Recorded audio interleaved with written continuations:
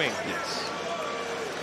Sam Hauser, Derrick White, Grant Williams, Jayson Tatum, and Luke Kornet in the game for Boston.